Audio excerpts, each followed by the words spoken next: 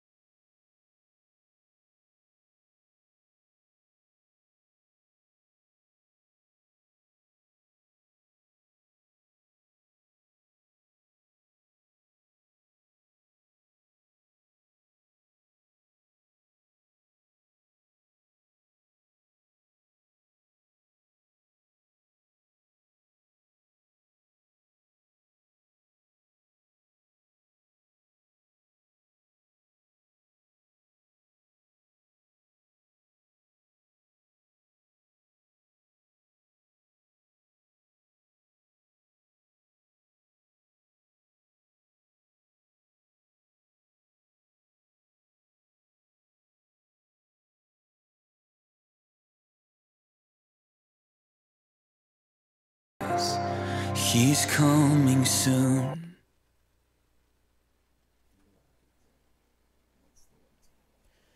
She had suffered for 12 years and had spent all she had searching for a cure. Then one day, in an act of faith, this woman from Galilee quietly reached out to touch the hem of Christ's robe. She was instantly healed. The robe was just a piece of cloth, yet when Christ was present, there flowed a great healing power. As we gather here today, this could be just another choral presentation. We pray that the Spirit of Christ will live in our words and music as we invite you to come. Come encounter the presence and power of Christ. Come, touch the robe.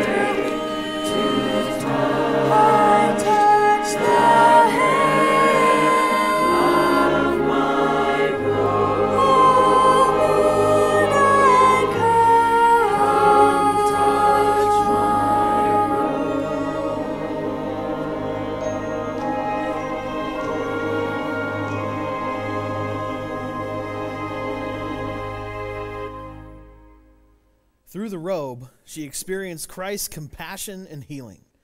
Later, on a mountain, the robe reflected his holiness and power. Jesus took three of his disciples up the mountain and was transfigured before them. His face shone like the sun, and his clothes became white as the light. Moses and Elijah appeared with him, and a voice came from a cloud saying, This is my beloved Son, in whom I am well pleased. Listen to him. Certainly, this was a powerful encounter for the disciples. His shining robe and the voice from the cloud burned into their memories. Though they would face many difficult days, these memories would give them tremendous confidence as they preached the lordship and gospel of Christ.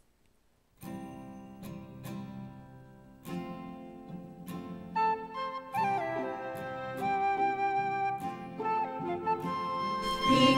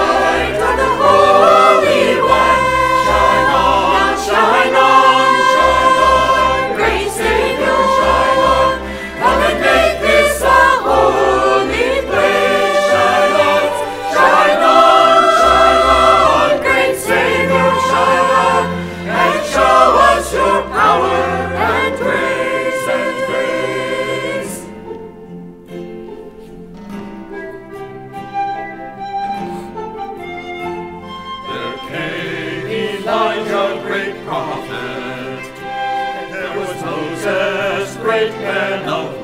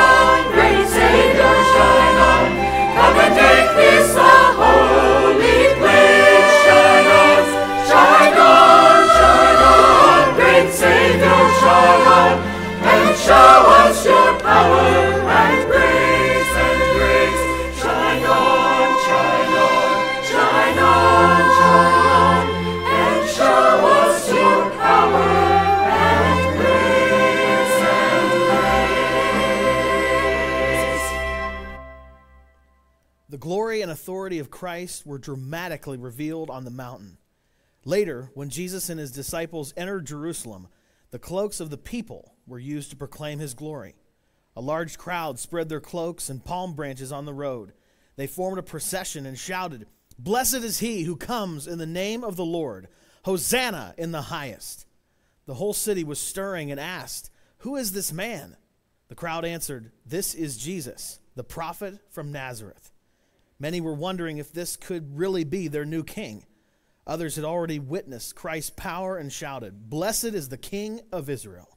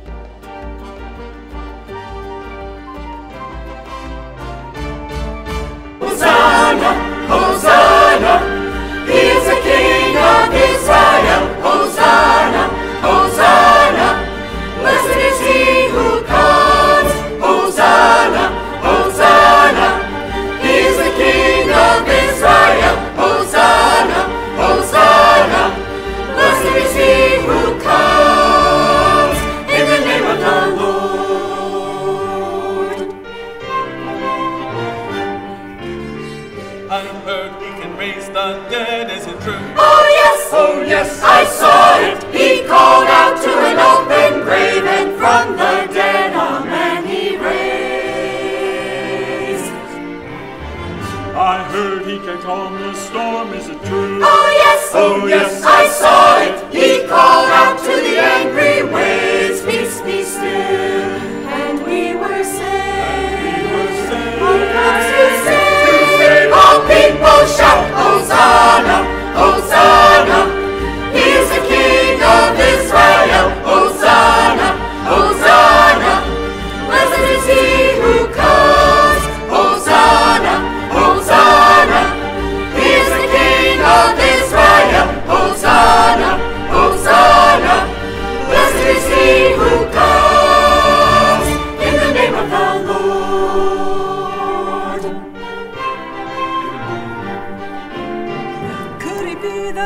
Promised one? Could he be? Oh yes, The great Messiah. He will reign as a mighty King, deliver us and set us free. Come and praise the Holy One with a shout. Come shout with a voice of triumph. Spread your coats on the path before. Prepare the way of the Lord.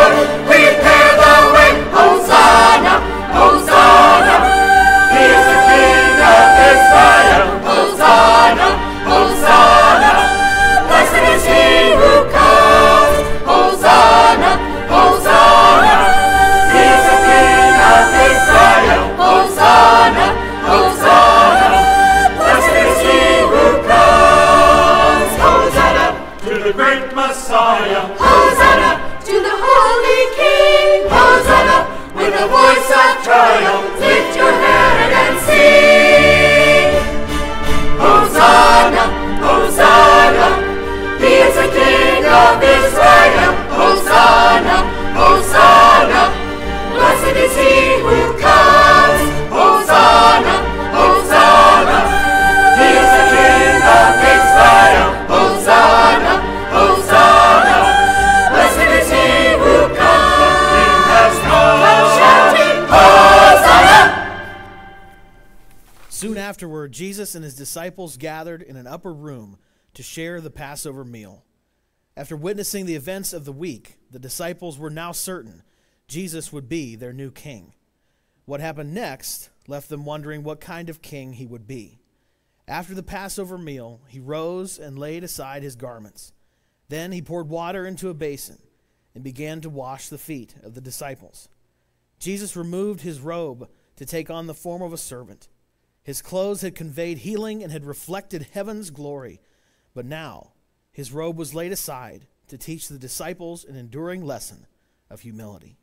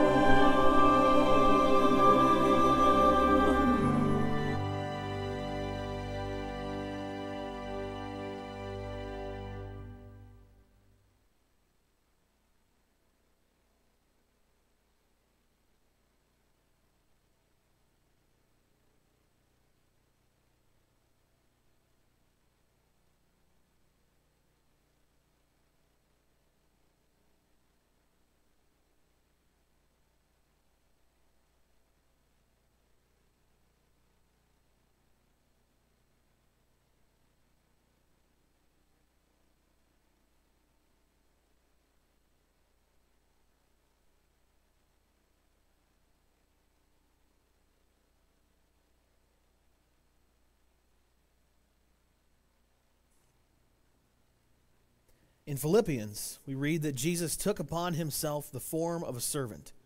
He humbled himself and became obedient unto death, even the excruciating death of the cross. He demonstrated this obedience unto death through his arrest, his trial, and his crucifixion. After he was tried, soldiers mocked him, stripped him of his garment, replacing it with a purple robe. They put a crown of thorns on his head and hailed him as king. But through every step of the way, it was clear he had become the king of suffering.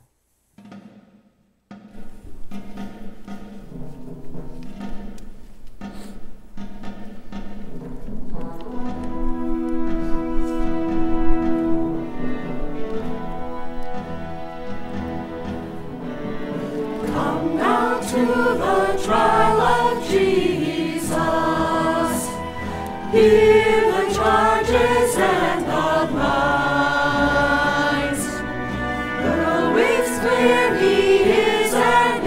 an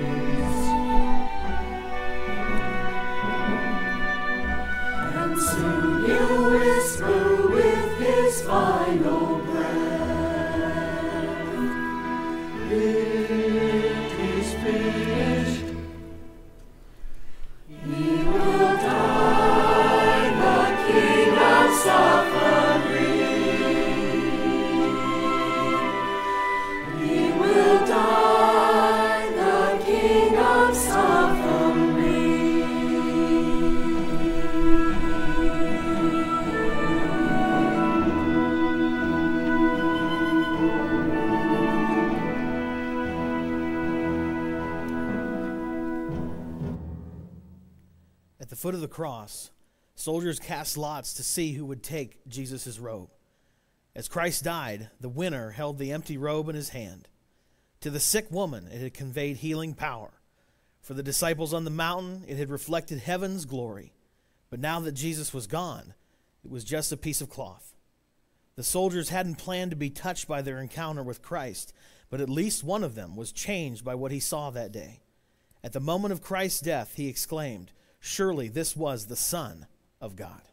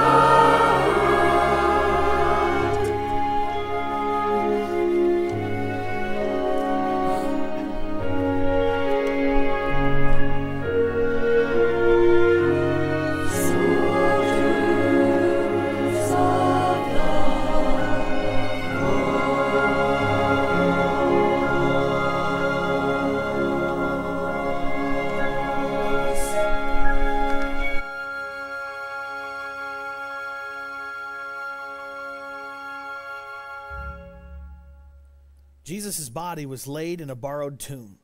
The stone was rolled into place. The grave was sealed as his body lay silently wrapped in the shroud of death.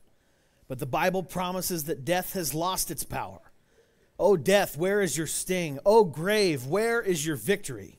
The sting of death is sin, and the strength of sin is the law. But thanks be to God who gives us the victory through our Lord Jesus Christ. 1 Corinthians 15 55 through 57. Come and touch his linen shroud, not to mourn the tragedy of death, but to remember that these grave clothes will soon lay empty, left behind on the floor of the tomb.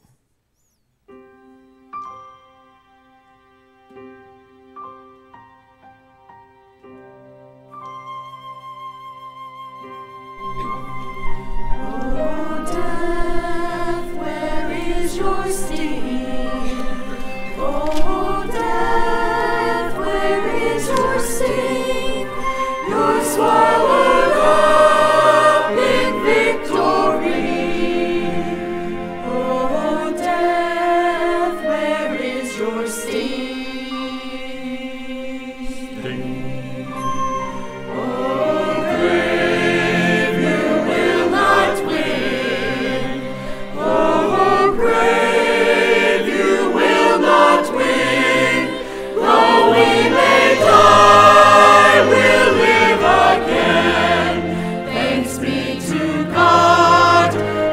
be to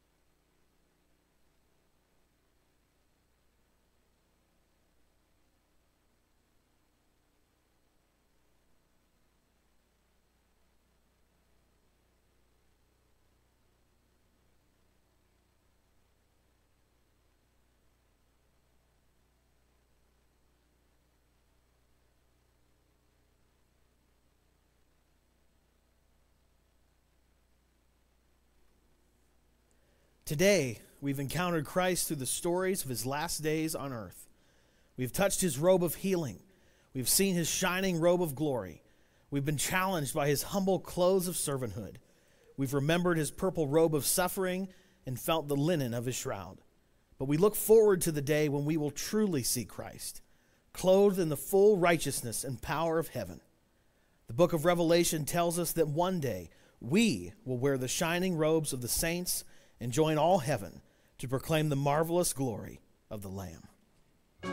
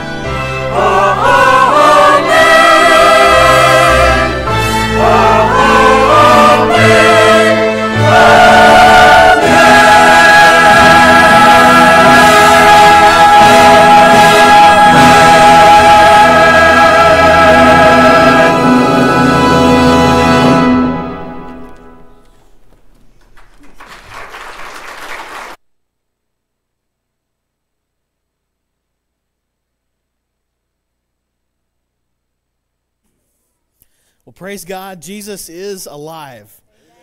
Uh, can we give another round of applause to these guys? Yeah.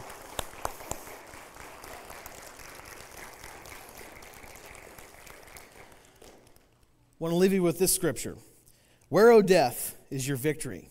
Where, O death, is your sting? The sting of death is sin, and the power of sin is the law.